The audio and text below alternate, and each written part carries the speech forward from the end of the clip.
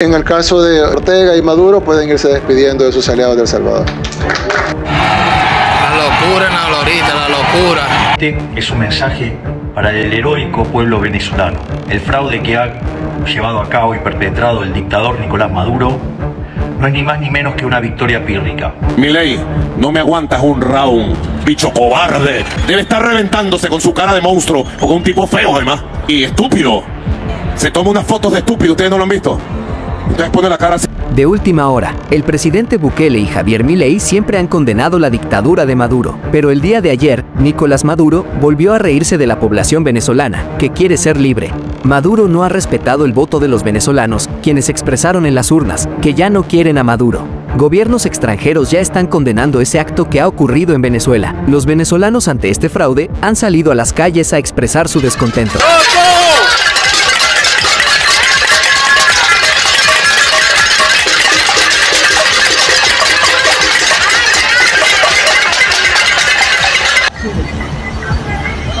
Petare no hay gente, mano. En Petare no hay gente, mira. En Petare no hay gente, mano. Estamos todos con María Corina, mamá huevo. María Corina. El Estado Miranda está con María Corina, el Estado Miranda. Maduro, el día de ayer, hizo un nuevo fraude que fue visto por el mundo entero. Tan desesperado ha sido que a menos de 12 horas de esas elecciones, el Tribunal Electoral de Venezuela lo acaba de proclamar oficialmente presidente para gobernar hasta el 2031. Se procede a proclamar como presidente de la República Bolivariana de Venezuela al ciudadano Nicolás Maduro Moro, titular. En ese acto se encuentran líderes históricas del FMLN, partido de izquierda en El Salvador, mismo partido que dice que el presidente Bukele tiene al país sumido en la miseria, pero ellos celebran a Nicolás Maduro por un fraude más, mismo partido que gobernó a El Salvador por 10 años, y en esos años se alcanzó el alza de homicidios más alto de toda la historia de El Salvador. Pero ahora pasan criticando a Nayib Bukele, mismo que hace unos meses de ganó las elecciones presidenciales en El Salvador por el porcentaje más alto en la historia. Pero los del FMLN critican a Bukele y a la misma vez celebran el fraude en Venezuela por el partido de Maduro, mismo partido que está perpetuado en el poder desde hace 25 años y ahora ha robado una elección más. Pero en esta ocasión, ningún gobierno extranjero ha reconocido a Maduro como presidente de Venezuela. Solo Honduras y dos países más han felicitado al dictador de Venezuela. El resto del mundo está condenando dicho acto. El presidente Nayib Bukele ante este fraude que ha cometido Nicolás Maduro, esto fue lo que dijo el mandatario salvadoreño. Lo que vimos ayer en Venezuela no tiene otro nombre más que fraude. Una elección, donde el resultado oficial no tiene relación con la realidad, algo evidente para cualquiera. Rompimos relaciones diplomáticas con Maduro desde hace cuatro años. No las reabriremos hasta que su pueblo pueda elegir a sus líderes en elecciones de verdad. Eso dijo el mandatario salvadoreño. Y si se puede ayudar a la región, en el caso, por ejemplo, del aislamiento del régimen eh, genocida de Nicolás Maduro, y además fraudulento e ilegítimo y antidemocrático.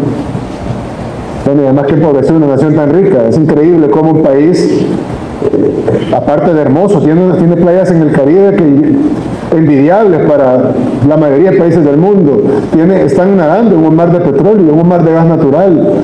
Eh, tienen, recursos, tienen oro, tienen recursos naturales, 132 millones de personas que yo, de los que conozco, bueno, es más, hay gente que, que, nos, que nos ha apoyado aquí en El Salvador, que hay gente que se va a Estados Unidos y son, eh, terminan trabajando en grandes empresas en Estados Unidos y uno dice, bueno, ¿cómo dejan ir ese tipo de cerebros? Más o menos lo que nos pasó a nosotros con nuestra diáspora, que muchos de nuestros cerebros, nuestra gente más capaz se fue por la incompetencia de los gobiernos anteriores y cómo destruyeron el tejido social y productivo del país a un nivel de que se fue tanta gente. En el caso de Venezuela es mucho peor todavía. En el caso de Venezuela tienen salario mínimo de 4 dólares al mes.